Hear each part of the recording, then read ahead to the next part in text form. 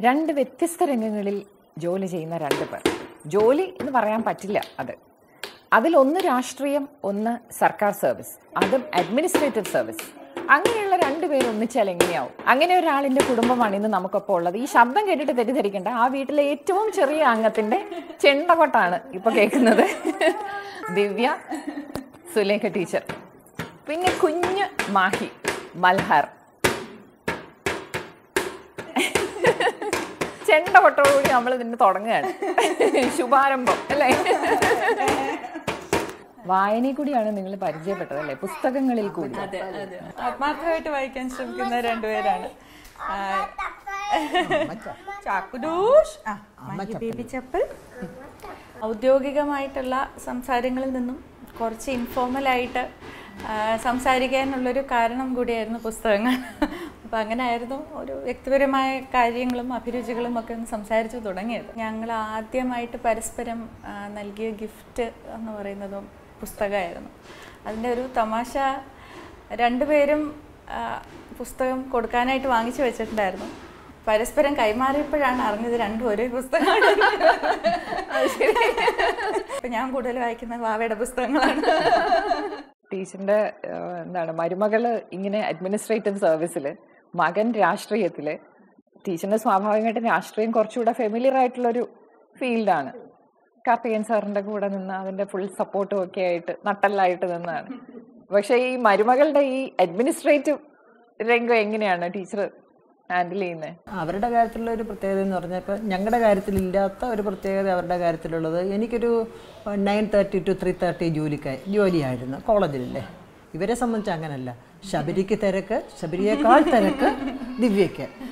എങ്ങനെയെങ്കിലും പിന്നെ ഫാമിലിയുടെ ഞങ്ങളുടെ രണ്ട് ഫാമിലിയുടെ സപ്പോർട്ട് പിള്ളേർക്കുള്ളത് കൊണ്ട് വലിയ ഇതില്ലാതെ അവരങ്ങ് പോന്നു. ഇപ്പം കൊച്ചാളും കൂടി വന്നതിന് ശേഷം? കൊച്ചാളും കൂടി വന്നതിന് ശേഷം അവയും അവൻ കുറച്ച് എനിക്കൊന്ന് ഒരു അമ്മയോടടുപ്പം കൂടുതലുള്ള കുഞ്ഞായിട്ടാണ് അവന്റെ ഒരു ഇത്. അവൾ ഓഫീസിൽ പോയിരിക്കുമ്പോഴേ ഇടയ്ക്കിടയ്ക്ക് അമ്മ അമ്മ ഇങ്ങനെ വിളിക്കും. പിന്നെ രാത്രി അച്ഛൻ രംഗപ്രവേശം ചെയ്യുമ്പം ഒരു പത്തര മണിയൊക്കെ ആകുമല്ലോ ആ അച്ഛൻ വരുന്നതിന് മുമ്പേ അച്ഛന് രസമുള്ള അച്ഛന് തറയലാണ് അച്ഛൻ ഇപ്പോൾ കിടക്കുന്നത്. കാരണം ഇവൻ ഇവന് കളിക്കാനുള്ള സൗകര്യത്തിനും.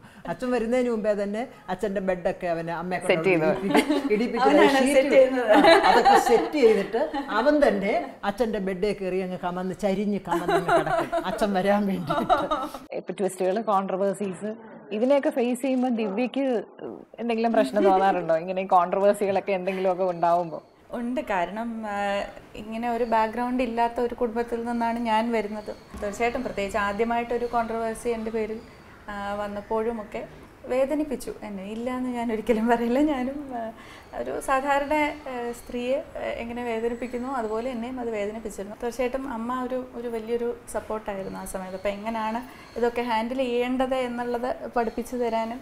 ഇപ്പൊ സാധാരണ രാഷ്ട്രീയ നേതാക്കളുടെ ഭാര്യമാരാവുമ്പോൾ ഇലക്ഷൻ സമയത്ത് കൂടെ നിൽക്കും ഫുൾ സപ്പോർട്ട് കൊടുക്കും ചിലരൊക്കെ കൂടെ പ്രചാരണത്തിന് ഇറങ്ങും അല്ലേ?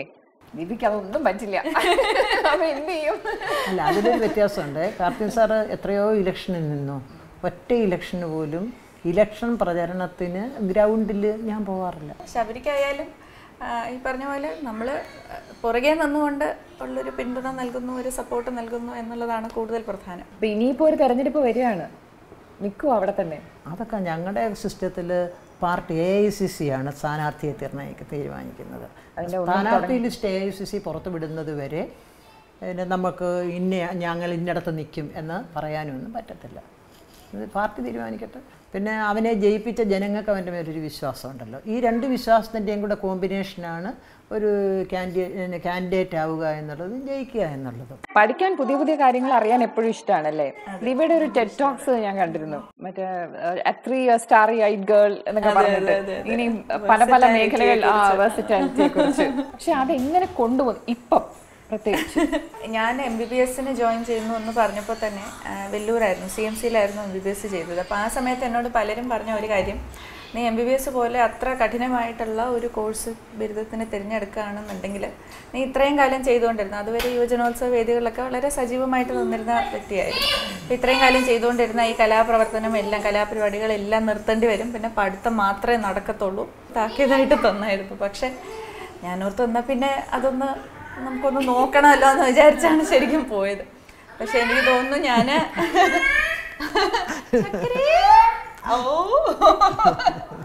എനിക്ക് തോന്നുന്നു ഞാൻ അത്രയും ദിവസം ചെയ്തതിനേക്കാളും കൂടുതൽ കലയുമായിട്ട് ഏർപ്പെട്ടത് വെല്ലൂരിലുള്ള കാലത്തായിരുന്നു. അപ്പോൾ അവിടെ വെച്ചിട്ട് ഞാൻ പുതുതായിട്ടൊരു നൃത്തരൂപം അഭ്യസിച്ചു. അവിടെ വെച്ചിട്ട് പാട്ട് അഭ്യസിച്ചു. വീണ്ടും അഭിനയത്തിലും പെയിന്റിങ്ങിലും ഒക്കെ ശരിക്കും ആ സമയത്ത് വീണ്ടും ഒന്ന് ഏർപ്പെടാനുള്ള ഒരു അവസരം കിട്ടി. അപ്പം എന്റെ ഈ വെസറ്റാലിറ്റി എന്ന് എന്നോട് ചോദിക്കുമ്പോൾ ഞാൻ അതാണ് ഒരു മൗലികമായിട്ടുള്ള ഒരു ഉദാഹരണമായിട്ട് എന്റെ മനസ്സിൽ എപ്പോഴും വെക്കുക. പിന്നെ ഞാൻ നമ്മൾ കയറി വന്നപ്പോൾ ദിവ്യ പാട്ട് പാടുന്ന കേട്ടു. മോനോട് ഒരു രണ്ടുപേരും എന്തോ ഇങ്ങനെ പാടി. അപ്പം ഞാൻ ഓർക്കുകയും ചെയ്തു. ഈ പാട്ടൊന്നും ഇപ്പം കേൾക്കുന്നേ ഇല്ല? സുന്ദരനായവനേ സുബ്ഹാനല്ല അൽഹംദുലില്ല ഉള്ളിൻ ഹിലാലായ കണ്ണിൻ ജമാലായ കാതിൻ കലാമായ പാരിൻ കമാലായ കാറ്റത്തൊരു പൂവിന്റെ മധുരയ്ക്കും മണമായ സുന്ദരനായവ സുബ്ഹാനല്ല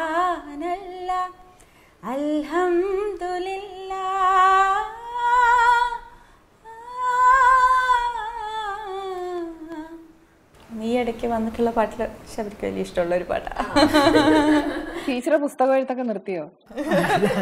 അമ്മ പുസ്തകം എഴുതിക്കാനായിട്ട് പത്രങ്ങളിലോ മാസികകളിലോ ലേഖനം എഴുതിക്കാനായിട്ട് പുറത്ത് ഏതെങ്കിലും പരിപാടികളിൽ പോകാനായിട്ട് ഗസ്റ്റ് ലെക്ചറായിട്ട് പോകാനായിട്ടും ഒക്കെ ഒരുപാട് ക്ഷണങ്ങൾ വരാറുണ്ട്.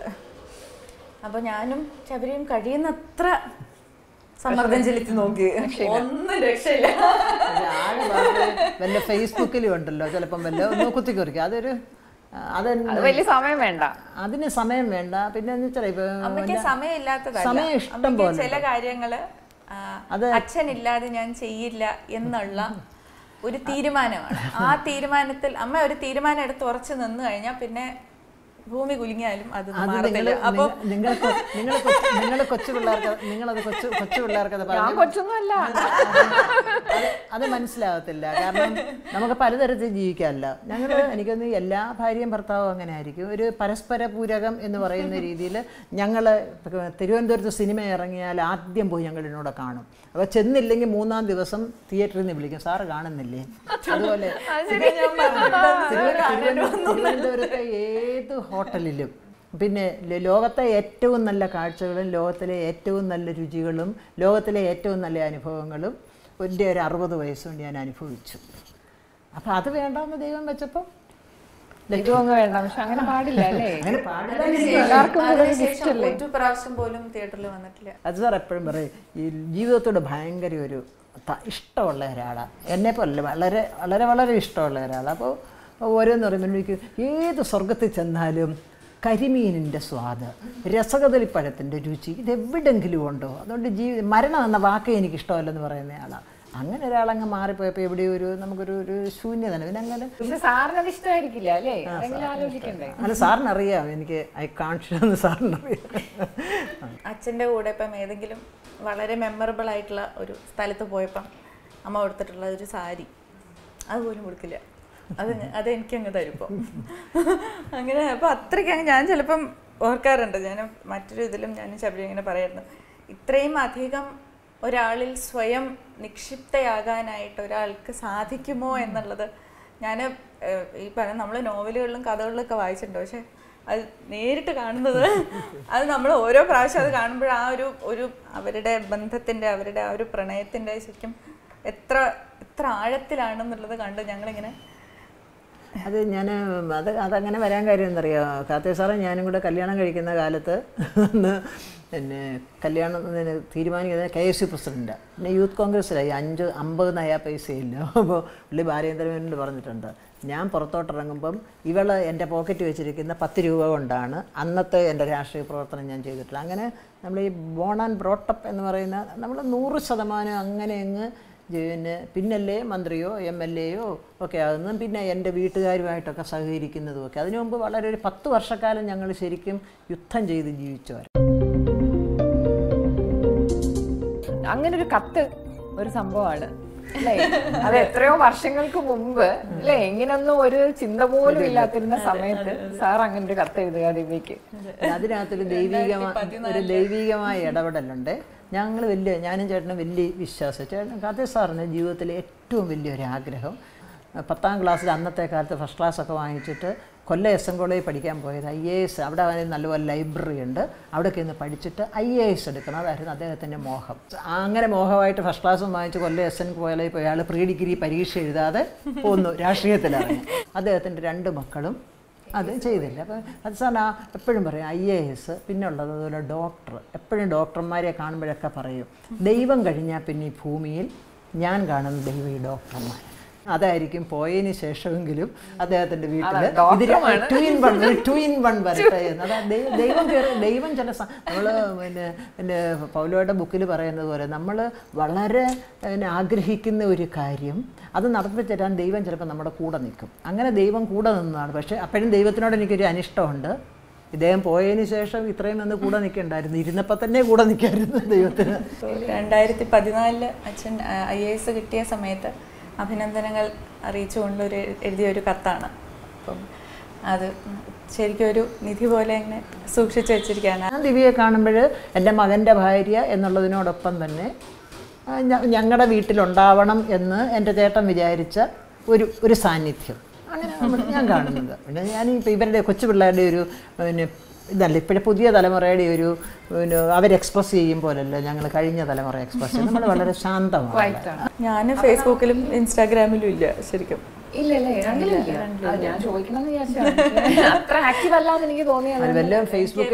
ഞാൻ കൊണ്ട് കാണിക്കുന്നത് ഇത് നോക്കുന്ന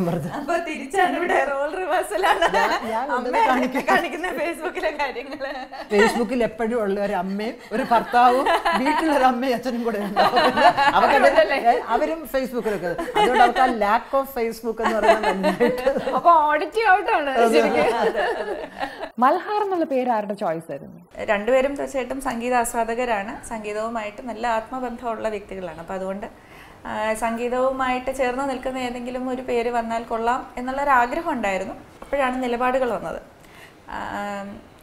പേര് കേട്ടാൽ ഇന്ന ജാതിയാണ് അല്ലെങ്കിൽ ഇന്ന മതമാണ് എന്ന് പ്രത്യക്ഷമായി അറിയാൻ പാടില്ല എന്നുള്ള ഒരു നിലപാടെടുത്തു അപ്പോൾ സെക്യുലർ ആയിട്ടുള്ള ഒരു പേര് വേണം. അങ്ങനെയാണ് ഞാൻ രാഗങ്ങളുടെ കാര്യങ്ങൾ ആലോചിച്ച് വന്നപ്പോൾ വളരെ നല്ലൊരു രാഗവുമാണ്. രണ്ടുപേർക്കും ഇഷ്ടമുള്ള ഒരുപാട് പാട്ടുകളുള്ള ഒരു രാഗവുമാണ്. പിന്നെ ഈ പറഞ്ഞ പോലെ ആ പേരിൽ തന്നെ അതിന്റെ ചരിത്രത്തിൽ തന്നെ ശരിക്കും പല മതങ്ങളുടെ ഒരു സങ്കലനമുള്ള ഒരു പേരും കൂടിയാണ്. അപ്പോൾ പിന്നെ വേണമെങ്കിൽ ജെൻഡർ ന്യൂട്രലുമാണ് ശരിക്കും ആ പേര്. അപ്പോൾ അതുകൊണ്ട് എല്ലാം കൊണ്ടും രണ്ടുപേർക്കും ഒരുമിച്ച് ചേരാൻ പറ്റിയ ഒരു പേരായിരുന്നു എന്തായാലും മൽഹാറും ഈ വഴിക്കൊക്കെ ചിന്തിക്കുമെന്നുള്ള ഉറപ്പായി കൊണ്ടാണല്ലോ വേഴ്സറ്റൈൽ ആയിട്ടുള്ള ഒരാൾ. അപ്പൊ ഇനിയിപ്പം തൽക്കാലത്ത് ഈ പറഞ്ഞ ഈ ന്യൂ മദർ ആ ഒരു സ്റ്റേജ് ഒക്കെ കഴിഞ്ഞാൽ എന്തെങ്കിലും ഒരു പുതിയ മേഖല പരീക്ഷിക്കാൻ ഉദ്ദേശിക്കുന്നുണ്ടോ? ആഗ്രഹങ്ങൾ ഒത്തിരി ഉണ്ട്. എന്റെതായ ഒരു പുസ്തകം എഴുതണം എന്നുള്ള ആഗ്രഹമുണ്ട്. ഞാൻ ഇതുവരെ ചെയ്തിട്ടുള്ളതെല്ലാം ഈ പറഞ്ഞ പോലെ മറ്റ് ആരുടെയെങ്കിലും ഒരു പ്രചോദനം ഉൾക്കൊണ്ട് കൊണ്ടൊന്ന് ആഹ്, ഒന്ന് അവരുടെ കൂടെ നിന്നുകൊണ്ട് എന്നുള്ള രീതിയിലാണ് ചെയ്തിട്ടുള്ളത്. അപ്പം എന്റെതായ ഒരു പുസ്തകം ഇംഗ്ലീഷിലായാലും മലയാളത്തിലായാലും ചെയ്യണം എന്നുള്ളൊരു ആഗ്രഹമുണ്ട്. ഇടയ്ക്ക് വിട്ടുപോയ കാര്യങ്ങൾ കുറച്ചുകൂടെ ഒന്ന് സജീവമായിട്ട് കൂടെ നിർത്തണം എന്നുള്ളൊരാഗ്രഹമുണ്ട് പാട്ടായാലും അഭിനയമായാലും നൃത്തമായാലും ചിത്രരചനയായാലും ഒക്കെ. ഇതുവരെ പരീക്ഷിച്ചിട്ടില്ലാത്ത കാര്യം എന്താ ചെയ്യേണ്ടത് എന്ന് ചോദിച്ചാൽ എനിക്ക് തോന്നുന്നു ഈയിടെ ആയിട്ട് കളരിയിലേക്ക് ഒരു താല്പര്യം മനസ്സിൽ വന്നിട്ടുണ്ട്. വേറെ ആരും അറിഞ്ഞിട്ടില്ല കേട്ടോ. ചെയ്യുമോ എന്നൊന്നും അറിയില്ല. ആ ഒരു ഒരു ആവേശം ഉണ്ട് മനസ്സിൽ. അമ്മയെ കൊണ്ടൊരു പുസ്തകം കൂടി എഴുതിക്കണം. അതൊരു മിഷൻ ആയിട്ട് തന്നെ എടുക്കണം. മോഡിൽ എടുക്കണം. മിഷൻ ട്വന്റി ട്വന്റി വൺ അപ്പൊ രണ്ടുപേർക്കും ഒരുപാട് നന്ദി. Thank യു ഞങ്ങളും ഒത്തിരി സന്തോഷം. നിങ്ങളുടെയും ഒരുപാട് നന്ദി. ഞങ്ങളുടെ കുടുംബത്തിന്റെയും പേര്.